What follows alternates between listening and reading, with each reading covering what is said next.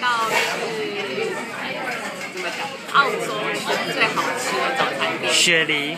对雪，它的它总店在雪梨，但它日本也有。然后这是我朋友还有在网络上很多人推荐。然后最主要是要点这个玉米饼，它超级香的。好，给大家看一下。玉米粒啊，然后它应该是就是可以叠起来，然后一起吃。你也可以单吃。然后最主要的话就是这个滑蛋。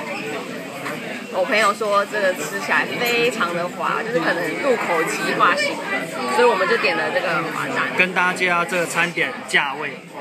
哦，这个价位非常的恐怖，这一盘澳币二十块？二反正二十四块多。台台币七百多块的早餐。对，台七百多块，换成台币也太可怕。对啊，那这这一道呢？这个二十一点五。哇，也是堪称六百多块。对对对，因为比较便宜一点就是六百多。因为你刚刚有拍这个。有有有。因为我们很多人说这件是媲美五星级的而且是里奥纳的推荐的。对。对，他非常，他就是每一次来澳洲嘛，来雪梨澳洲，他一定会来吃吃这间店。然后，而且他也上过有一本杂志叫《Time》时间，我想大家应该都知道，就可以，他有上过他的杂志。总之，这一间是堪称全世界最好吃的早餐。对，最好吃的早餐。快点，婷婷，你试一下，然后跟大家说下口感。对，就是玉米饼，超可怕的。好紧张，应该非常好，因为我们真的对他期望太高了。对，全世界耶！台币，我这一口可能就十块。台币三百。台币三百。它是用真的玉米下去弄。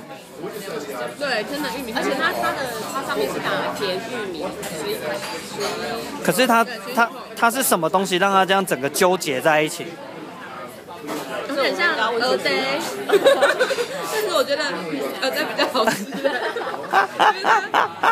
它没有不好吃，但是我觉得就是整个嘴巴都是玉米的香味，然后对，它应该有果粉，对，下去煎，就是一个很原味的东西，我要笑死了！我们花了那么多钱，全世界最好吃的早餐，你说像二爹？二爹的粉，二爹的粉。没有吃滑蛋，欢迎蛮特别的。欢迎大家来雪梨吃二爹，六百块鹅爹可以吃到吐。对，恩琪，你吃滑蛋。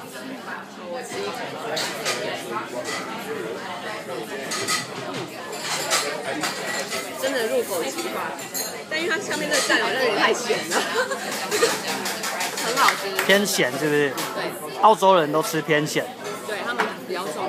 搞不好它这个蛋。非常好吃搞不好它这个蛋是要配在面包上面，对，像是面包跟面包一起吃。对啊。好吧，我们要去，我们要享用我们的早餐。好，那跟大家说拜拜，拜拜。